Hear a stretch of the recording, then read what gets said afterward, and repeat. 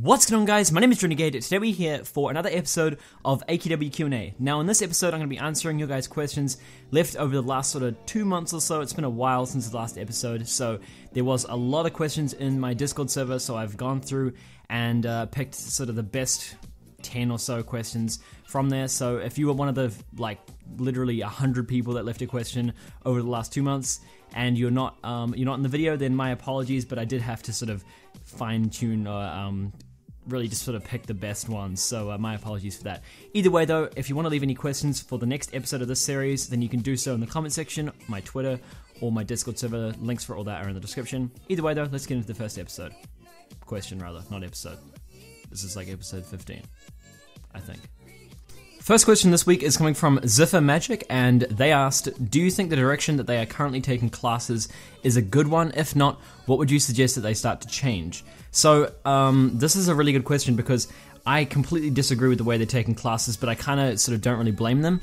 Um, basically, what they've been doing, what AE has been doing with classes, is they've been just sort of ramping up the the the um, what is it the power of each class as they release newer ones. So, for example, you know uh, Legion Doom Knight once upon a time was the best soloing class in the game, but now there's like Lightcasters.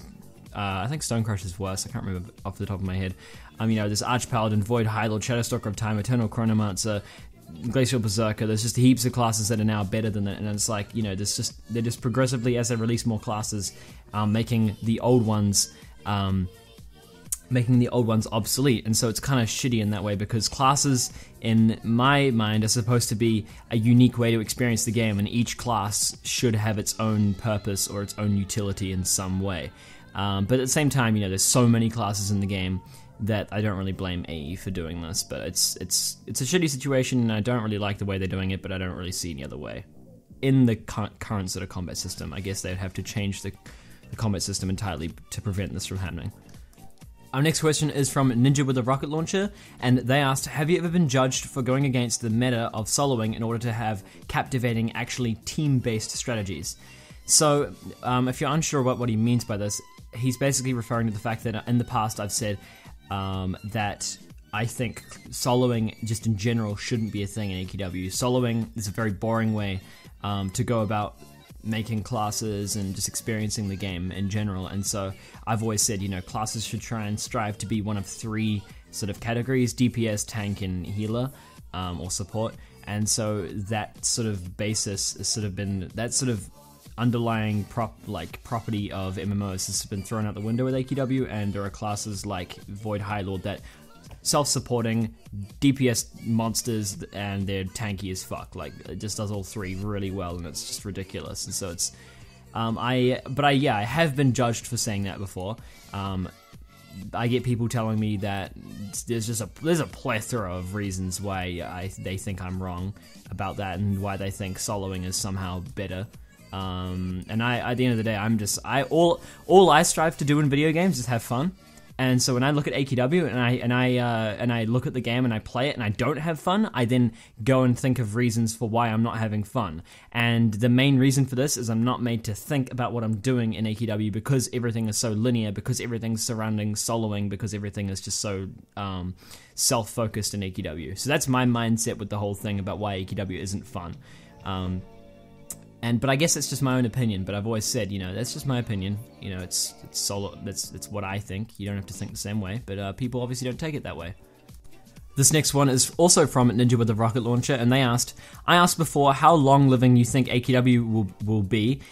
By proxy, your channel is. So a follow up question is, um, what will you do once that lifespan finishes? Will you adapt your channel and this Discord, or will it be devoid of its intended purpose? So, um, honestly, I'd like to adapt my channel, um, but I feel like AQW is unlikely to die. It doesn't seem like A is giving up on it, so I've, I've not really considered it all that much, to be honest, because, you know, it's. I don't know. I'd love to move my channel to a different game. Don't get me wrong. Like I, uh, you know, I don't like AQW like as a game. Like it doesn't uh, give me entertainment when I play it. So that part is obviously a really big thing that like makes me not want to do videos on AQW, but at the same time, I do enjoy making videos on AQW, so that's fine, I guess. But at the same time, you know, I'd love to one enjoy making videos about the game that I play and then which I already do, but two, also enjoy the game that I play, that I make uh, videos about. So I don't know. It's I'd love to just move my channel to another game that I actually enjoy, but at the same time, it's like, uh, you know, what games do I enjoy? I don't really have like a game that I enjoy at the moment, unfortunately. Um, but uh, I'll find something, maybe. I don't know. Probably not.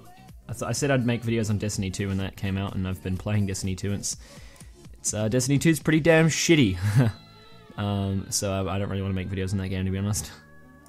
This next question is coming from Nick, and they asked, any tips for someone who wants to get into AQW content creation? So I'll give you guys a little uh, insight into how I thought of the, the ideas for my videos, because the biggest thing people come to and asking me, like, you know, when they're asking me for advice on AQW videos, I always say to them, you know, just try and think of a concept uh, that hasn't been done before. With AQW, it's really easy to do that. When you think, when you look at YouTube as a whole, YouTube is a really saturated platform, and there's a lot of stuff that's just already been done, and the vast majority of ideas that you're going to think of have already been done. And so it's really difficult to think of unique content that people are actually going to be interested in. Whereas when you look at AQW as just a like a little little slither of YouTube as a platform, uh, you can the AQW community is really isolated. You know, like when you look at a, a, community like League of Legends, for example, you'll see a lot of crossover with communities like Dota and Heroes of the Storm and Overwatch and just all those sorts of games. You'll see a lot of crossover, but with AQW, AQW is a different type of game. It's sort of it's very.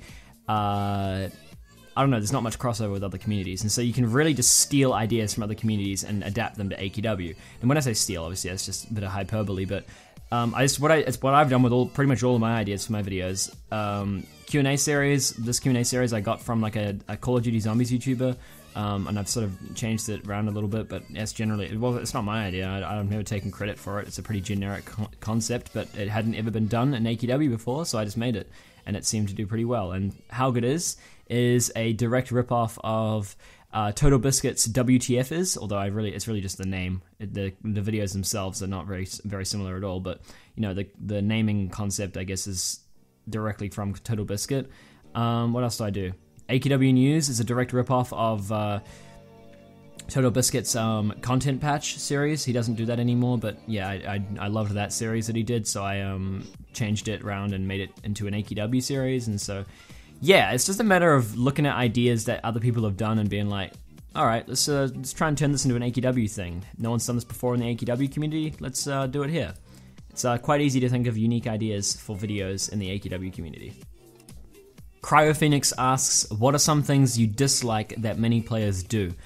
Uh, for me, this is going to be along the lines of um, I wouldn't say AFKing, but like just not playing, I guess. I don't know. It really annoys me when people.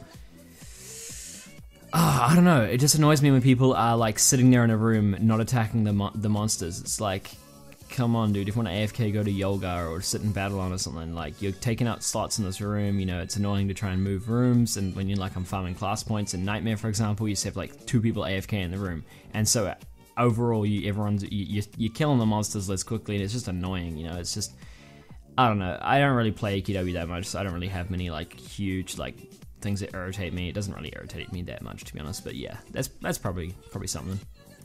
Next question is coming from Hoback, and they asked, "Do you think classes should remain how they are, or should monsters be buffed so that classes remain the same, but it's harder to defeat the monsters, uh, the monsters that are currently in the game?" So they're asking, you know, should we nerf um, bosses? Should we buff bosses or should we nerf classes? Because um, they're sort of coming at this this question from the perspective of like uh, AQW needs to be harder, but do we nerf classes and keep monsters the same, or do we buff monsters and keep uh, classes the same?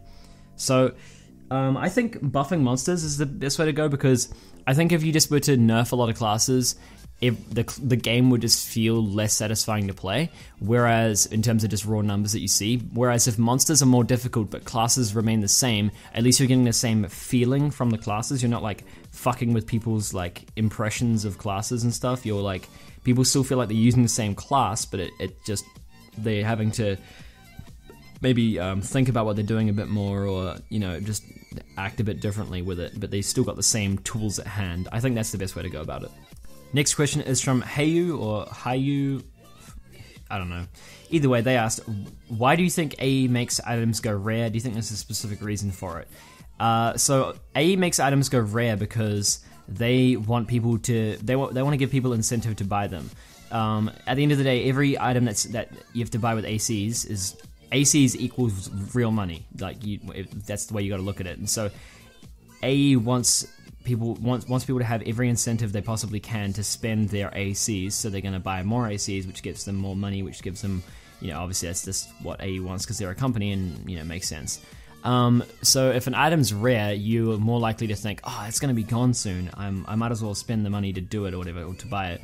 So it's kind of, yeah, it's a it's an incentive to buy stuff. If everything was just non-rare, then they wouldn't have as much motivation to buy stuff. Um, so yeah, that's that's probably why. Also, rare is just like a cool thing that people have gotten into with um, AQW. It's a it's a very much a um, ego boost thing for a lot of people, and so it's kind of become like a community of like rare collectors. And so there are a lot of collectors out there that you know hoard rares, and then, you know they're very proud of it, and that's what keeps them playing the game, and it's what they why they keep coming back because it's a valuable account with all these you know rares on it, that and they feel feel pride for it. So there's a couple of reasons behind it, but yeah, this question is from What the Hecking Frick, and they asked, which class do you feel is most worth it for how much you need to work for it? For example, Void Highlord in relation to the two months you need to farm for it.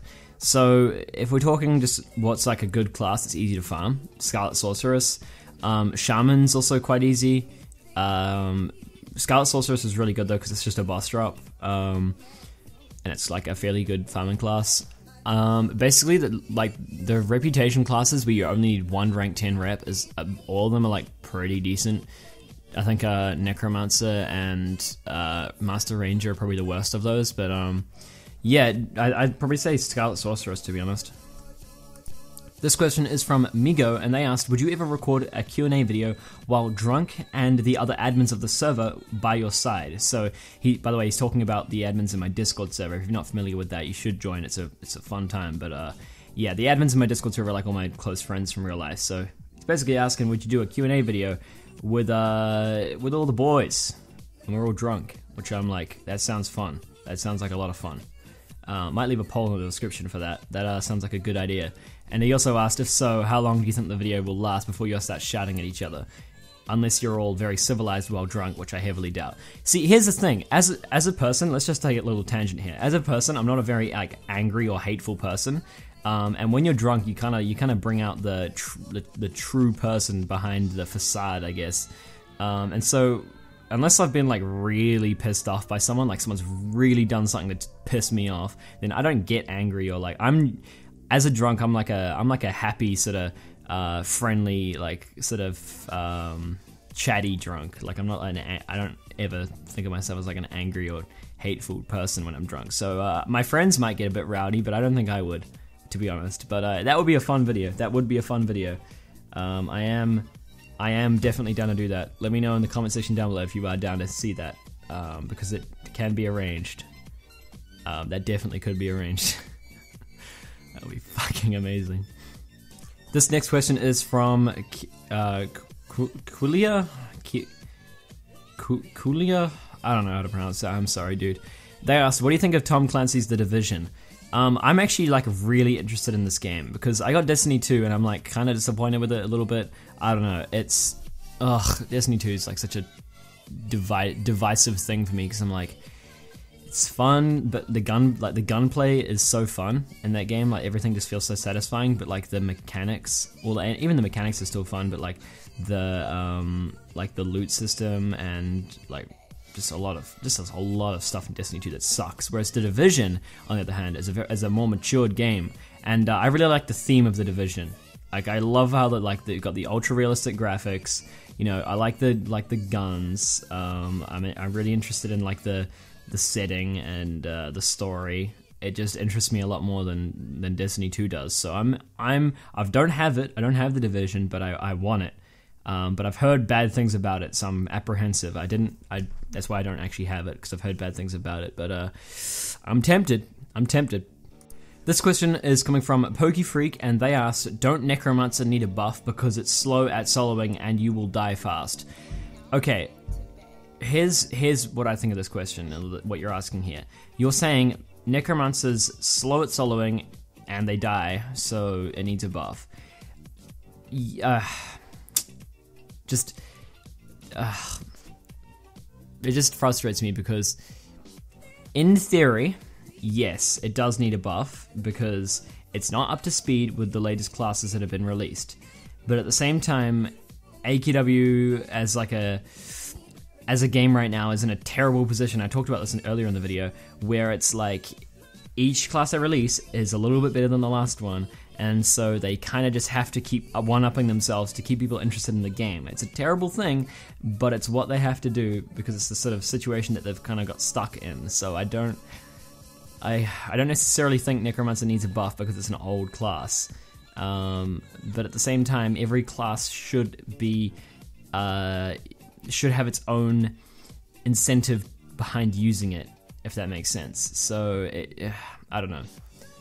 It's a, it's a tricky one, um, and I think just as a general rule of thumb, I don't think it's very intelligent to, to say um, this class is, is slow and it's you'll die fast, so you need to buff. I, I, think there's a lot more to it than just that. Um, but yeah, I guess it kind of does need a buff, but not really.